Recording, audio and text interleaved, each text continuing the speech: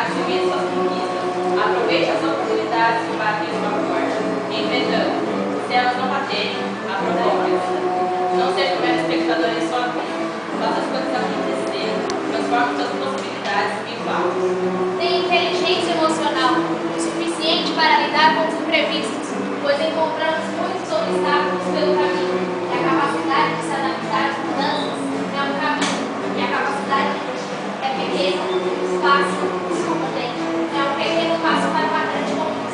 quebrem seus próprios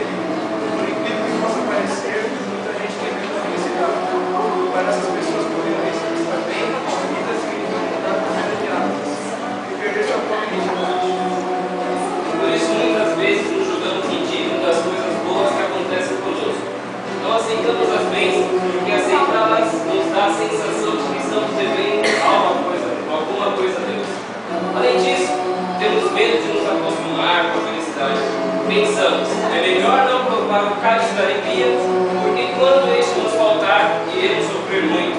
Por medo de diminuir, deixamos de crescer. Por medo de chorar,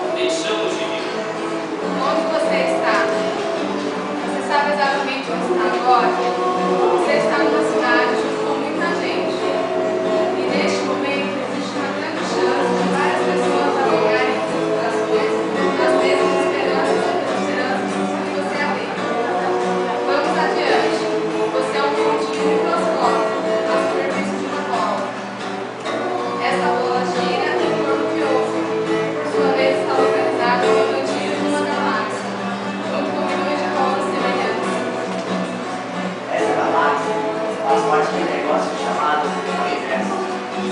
Cheio de gigantescos e é aglomerados estrelas.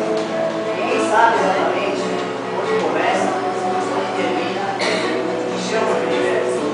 Mesmo assim, você é o máximo.